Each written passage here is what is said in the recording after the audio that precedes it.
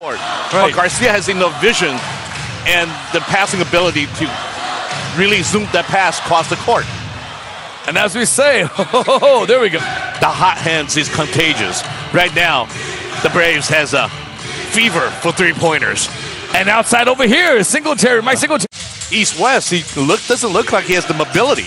Well, maybe you should maybe you should text someone, Ding, like uh, let, let them know what's going on. You know what I'm saying? And speaking of which, Singletary with another three-pointer.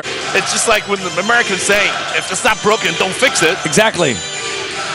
And Singletary with a high off the board shot. Back to Joseph. And the ball, turnover. Oh. Not very good on that one. Singletary driving up.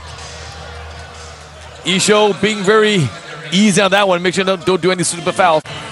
Keeping the spread difference at 10. Singletary drives in over Garcia again. So now they're just going straight at Garcia. Hong Chi-san. Back to Zoding. And the ball got hit from behind. Oh. So cannot sleep. Got to look from behind. They have to communicate. Singletary driving all the way in. And off the board reverse. Good and one. And still trying to force the ball down to tie. No good. And here comes Singletary. Making the game a one-point game, ladies and gentlemen.